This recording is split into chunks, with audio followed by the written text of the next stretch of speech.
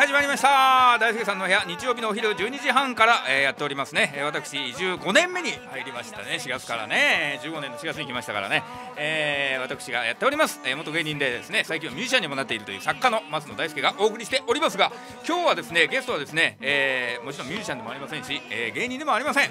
えー、なんと言いますかですね。私のよく考えたらもう先輩ということですね。作家としても先輩。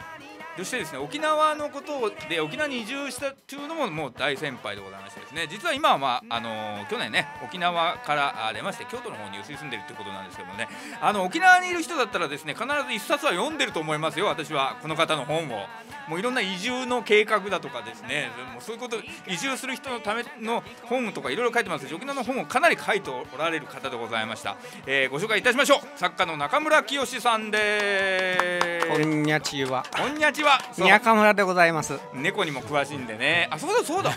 それを忘れてもらったら困ります。そうそうそう。ね猫にも詳しいんです。沖縄の猫にもねやたら詳しいんですけど実はですね、そうだ。私中村さんとお会いしたのは、ね、猫関連だったのそうかななんですよ。僕と松野さんは猫的関係にあると。猫。愛で結ばれて。猫はそうだったんですよ、ね、私はね猫は飼ったことないんですけどもね沖縄に来て猫が割と好きになったんでねはい。沖縄の猫が。でそれでまあね、えーなんか知り合ったっていう感じなんですけど、そうなんですまずですね、まあ、ご紹介っていうわけじゃないんですけどねあのすごく本をたくさん出されているんですよ沖縄の方に移住したの沖縄にまず移住されたのはどんぐらいえーっとね、ななんですか96年だったっけな。96年23年前、はい。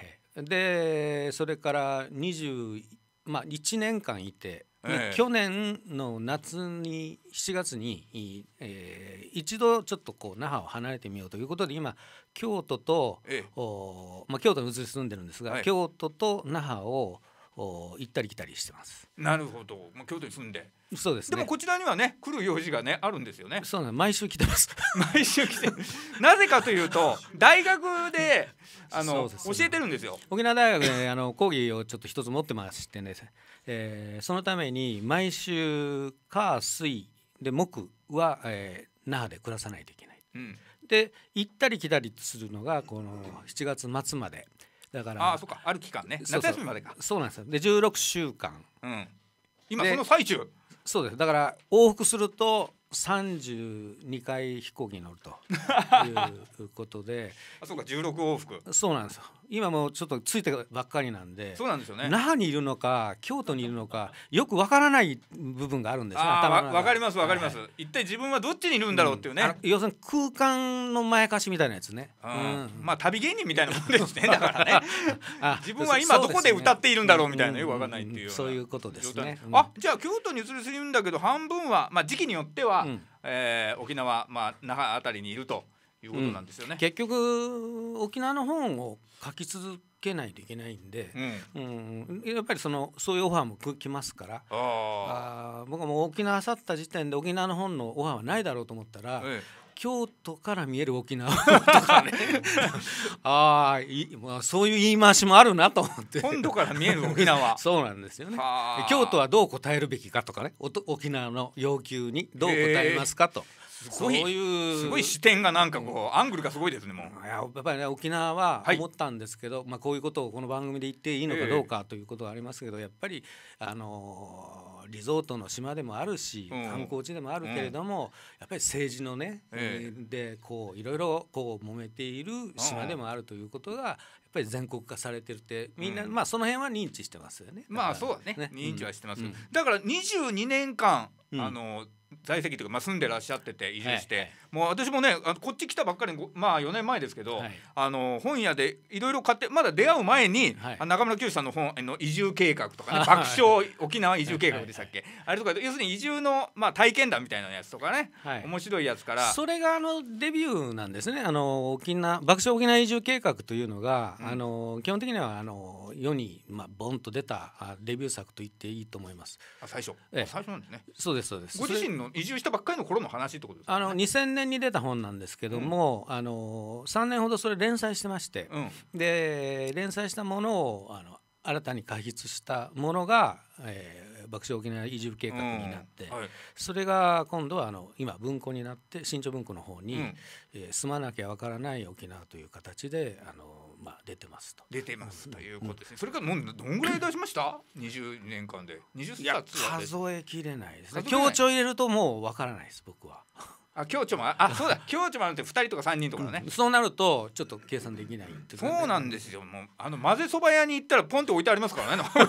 本が混ぜそばやね。混ぜそば屋。そこあありますよ。あの。僕はあの与那国のあの果ての、お西のお果てか。あの、え港町に行ってたら、その食堂にポンと僕の本が置かれてて 油にまみれてね。あなるほどね。あここまで来たんだなという あの食べ物の沖縄の食べ物の本もたくさんね。そうですね。はい、あの沖縄の文化の中でも食べ物は特に、えーよく書きましたあとあ、まあ最初はあのエンターテインメント系ですねえーねだんだんだんだんなんか進むにつれてね重く悲しく切なくなって深く深く入っていっちゃって。で最初の方はちょうど沖縄部分ですよ。あそうですね。うんまあちょうどチュラさんからまあそう2000なんです年の最初ぐらいですよね。そうなんです内田さんのあのー岡田圭也さんも、うんはい僕が書い、まあ、僕たちが書いたその、えーお沖縄オーバー列伝あれを参考にされてあのほまああの番組が生まれるんですよね。あ平富さんのそうですそう役とかですそうです。あおばあの役ね。あの頃はねもはい。う言っちゃあれですけども、何書いても当たりましたよ。あそう。何書いても。えー、まあブームだったからだ。そうです。完全に。出版社の方がとにかく書いてください。沖縄の沖縄が入ってれば何でも通しますって言ったんですいいなあ。そういう時代だったんですよ。そうだ。俺2015年に来て全く通らないですよ。え今ね出尽くしたよって言われた。らあんたがいけないよ。もう自分で自分の首を絞めてしまったあと。そうなんですか。でね。もうこれはテーマないなと思ったら、ええ。ふと路上を見眺めていると猫がいるじゃないいるんですよね。猫がねその辺にねゆっくり歩いちゃって。は いあそれで今最近ここ数年は猫にまあご自身もね猫ええ。飼われてますしね、そうそうそうそう。まあまあ買うきっかけになったことを買うというかねあの暮らしていると僕はあえて言います言い換えてますけど、うん。それもネタにしようと。で犬の次はあ猫の次は犬ですかとかね。あの犬の次は何ですかとか、うん。あまあいろいろまあ聞かれましたけどもあの結局はさっきまあええ申し上げたように沖縄とそのまあ政府とのね関係がややこしくなってくるとそれに関連する本のオファーがあるんで。うんうん、あのだんだんだんだん沖縄評論家みたいな話、まあ、ことになってきて 評論家ご自身としてはちょっと違うんでしょ？やっぱりね。あ僕はねあのそれにも書いてあると思いますけどうん。肩書きね、あ旅行作家になってると思うんですよ。旅行作家。私がもうね今日持ってきたんですよ。あの単行本だとちょっとギターも持ってるから重いんで文庫本を一冊だけピックアップして自分の部屋から持ってきました。沖縄学ねうちなんちゅう丸裸っていう本ですけども。それのね写真の写真ありますよ、はい。若っ、えー、写旅真が若い。行作家になってませんか？えー、旅行あほんなってる。なってるうちなんちゅう2世の旅行作家。ね僕は旅をしながらあの本を書くといううスタイルでずっとやってたんですよ。うんうんそれがずっともう那覇で、あの今もうへたり込むように、うん。私が知ってるのはもうへたり込んでる頃からですよ。猫と猫より低い位置で。猫かねどっか裏ぶられたあの裏酒場ではい。こう賃貸してるような あ形なっちゃったけど二十数年前は違うと。二十年前は違ったよと、うんご自身も今日本持ってきて、えーもらったんまあこれはあのまあ記念すべき、はい。猫の本ですけどね。ね猫の本。島根こと歩く那覇数字グアというのがあの、まあ、猫を描くきっかけになったんですけどこれが、えーあまああの漫画になったりとか上海版をつ、うんうん。作るきっかけになったりとか映画になったりとか、まあ、そういう感じで今は猫作家と言われてます。猫作家。沖縄猫作家なんですか？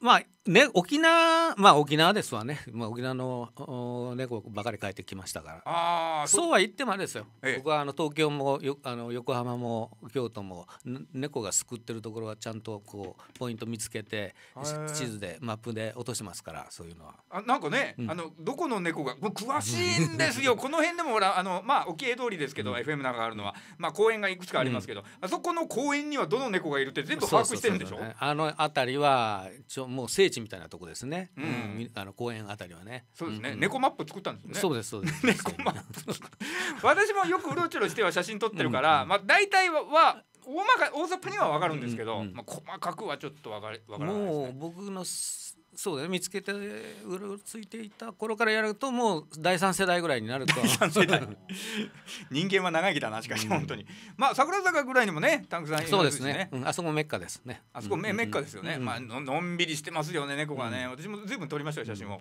あそうですね。あのー毎年あのコンテストもやってます。あそうそうそう。にゃにゃは猫 にゃは猫写真コンテストでね。うん。わ私賞を取りました。審査員特別賞、うん。まあ中村さんがね癒着の関係でくれただけなんですけども。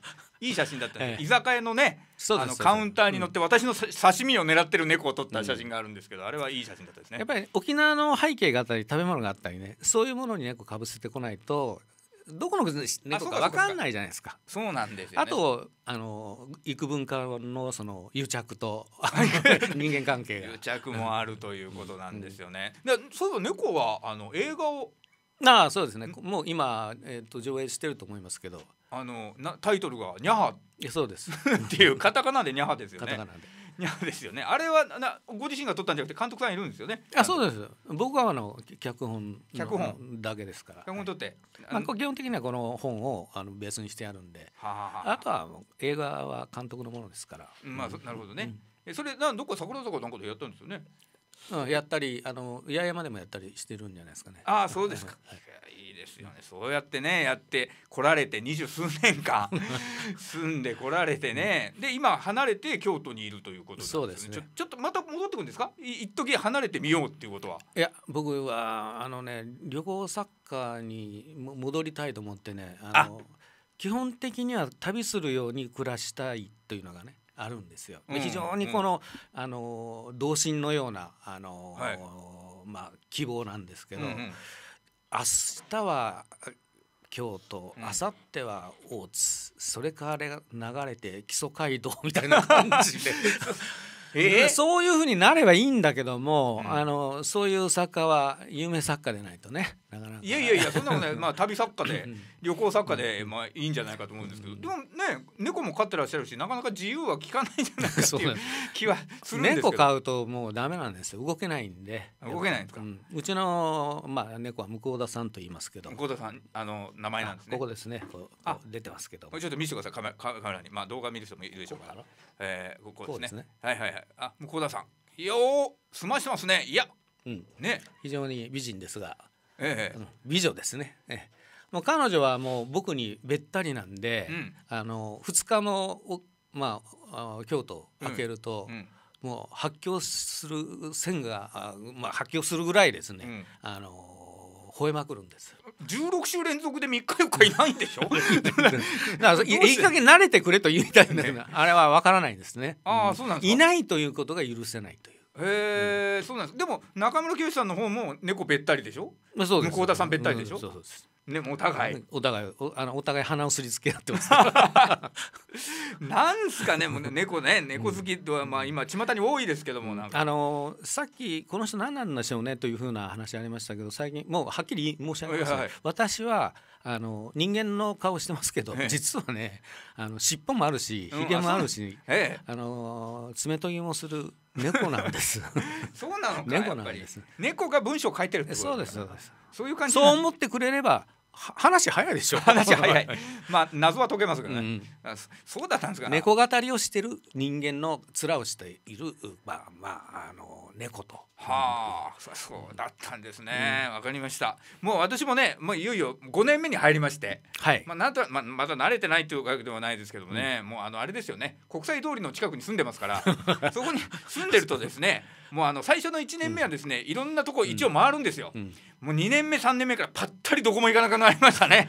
あ大体そういう症状になるのが普通ですよ。普通ですか、うん。それから見つけるのがいいんです。かその何かを見つけないとやっぱりねはあ。あの、まあ、旅行作家なんか特にそうだけど、うん。そこに住み着くぐらいは誰でもできるんですよ。うん。何るほどねかね。見つけていかない。ぼ僕はやっぱり10そうですね123年目あたりにぶつかったのは、うん。このまま那覇に行っていいのかなどうのかなとやっぱ考えたんですよ。うんでテーマ性もねもう掘り尽くすぐらいうん掘り尽くしして、えー今度は出版社の方から「沖縄以外なんかないですか?」とか言われるようになってからどうもね、やっぱり何か見つけないと沖縄であるいは那覇で何かを見つけないと僕自身が成立しないなというのがあったんですね。だからそれがやっぱりあの、まあ、一つは猫であったりもしましたが一つはあの沖縄問題でもあったし、でもう一つはやっぱり変わる風景ですね。あ変わりますね、うん、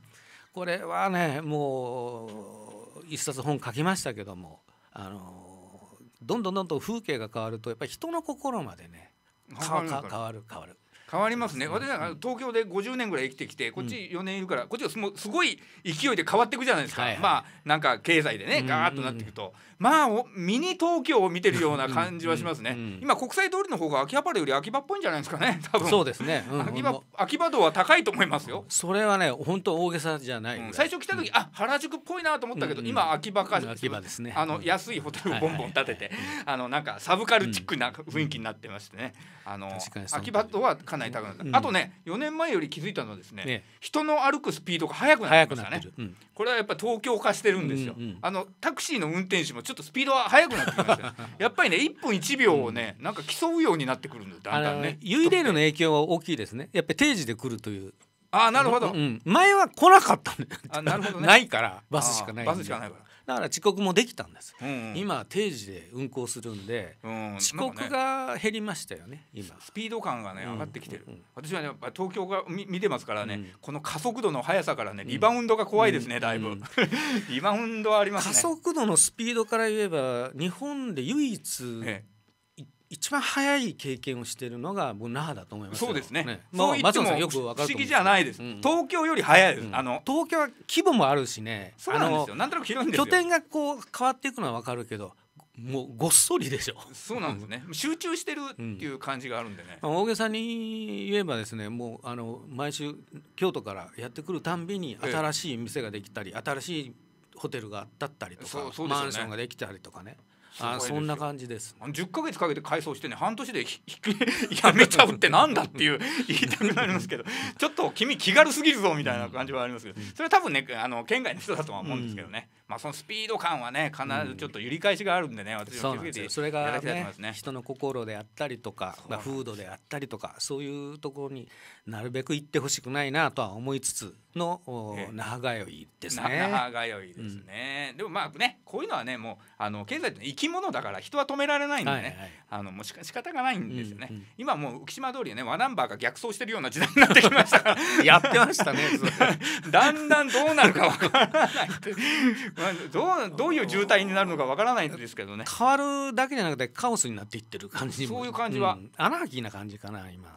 ありますね、うん、そうかと思えばね今ねもうかなりもう屋台の数はすごいですよ。そうですね、うん、屋台なんてなかったんだからなかったんですよねえー、45年前にポツンとできて、早飲みがね、そこからなんかわーっと広がっちゃって今すごくなっちゃいました、ね、僕はね何かの本にね沖縄に屋台を持ってきた方がいいって書いてあるんですよ書いてあったんですか？ちょちょうど沖縄っていうのは台湾と同じようなあの気候で、うん。うん、屋台ほどにあのこの沖縄にね似合う風景はないっていうふうに書いたんですよ。うん、であの初期投資も少なくて済むでしょ？失敗してもすぐ引き上げられるし。そううんうん、そういうこと書いたんです、うん、今屋台がないどころそこら中屋台じゃないかと。誰が許したんだというねそれぐらい、まあ、予言したわけですねもうそうそう。もう僕は沖縄経済これでないといけないというふうにでその通りになってるんです。ああ、うん、なってますね、ただもうめちゃくちゃ安いですね今ね、まあこのその収益がどうなのかという そそれありますね。私もそれ感じました、センベロが今4杯になってますからね。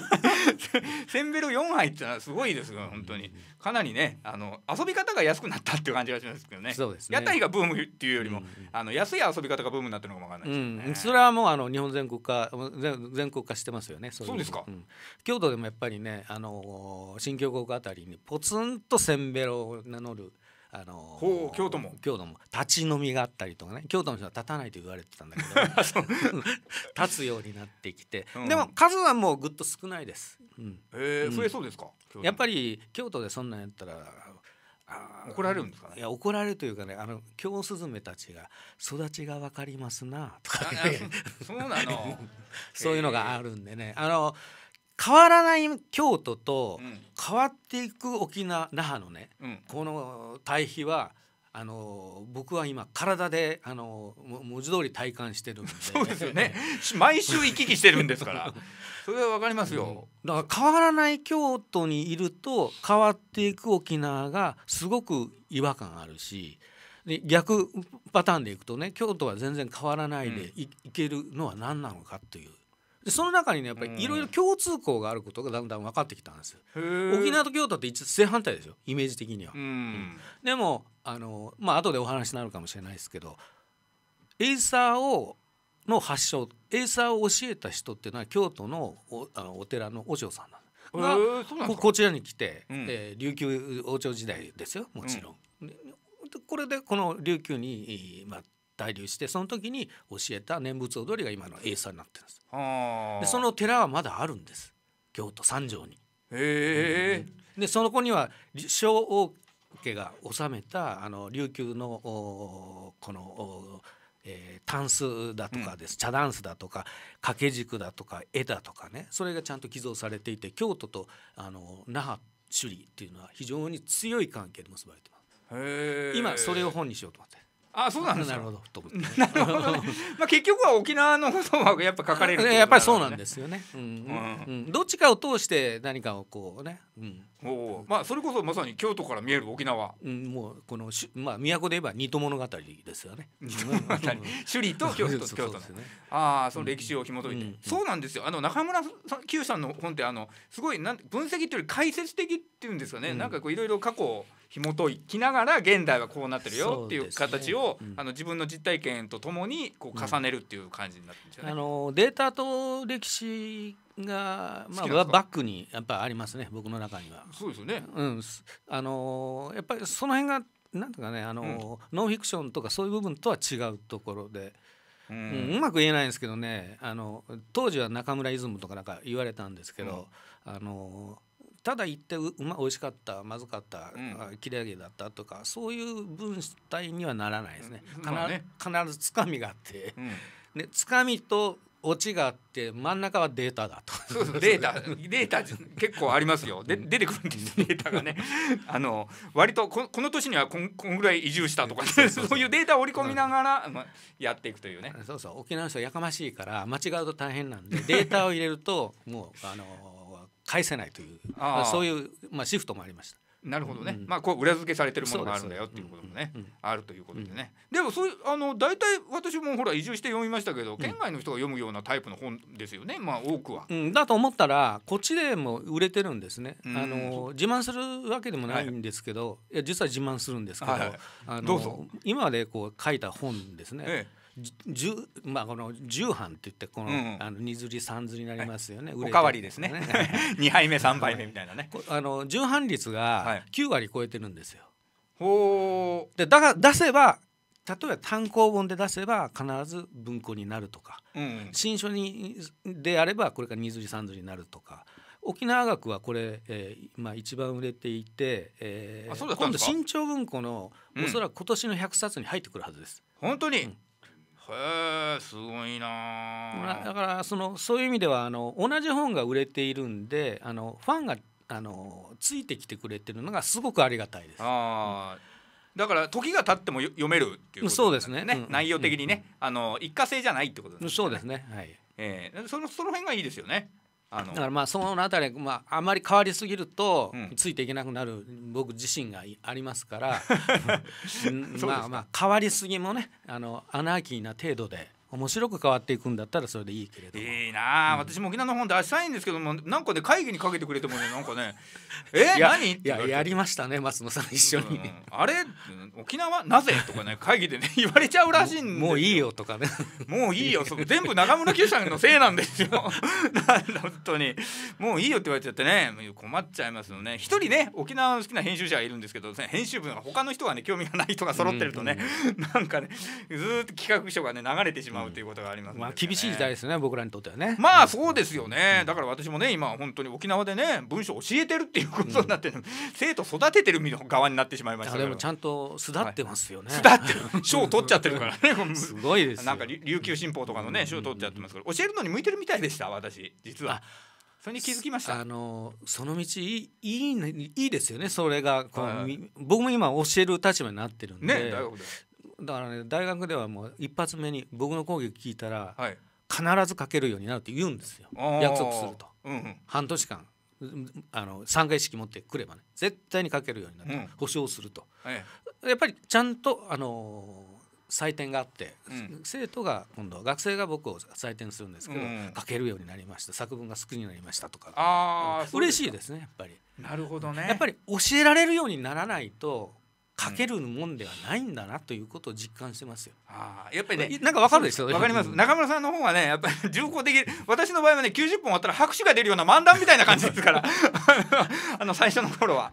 それちょっとまあ形式としてはねやり方は違うんですけども。あのでも生徒のことをやっぱ考えちゃうっていうのはね時間が多くなりましたね。私の場合は二十歳から80歳までいますから。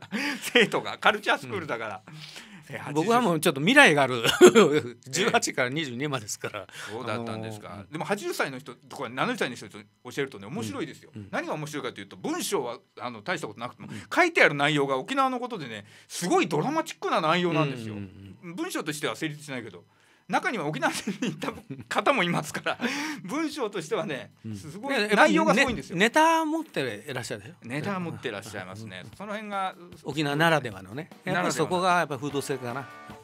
だからねあの私は逆に勉強になりますね、りうん。えーと思います。まあその話もねもうあっという間に終わりですから1本目。あそうそうです一本目っつっちゃいけないけど。日本通りなんでね。また来週来ないといけないんですね。そうですよ。来週また一回京都に戻って、はい。また大学のために来るでしょ来ます。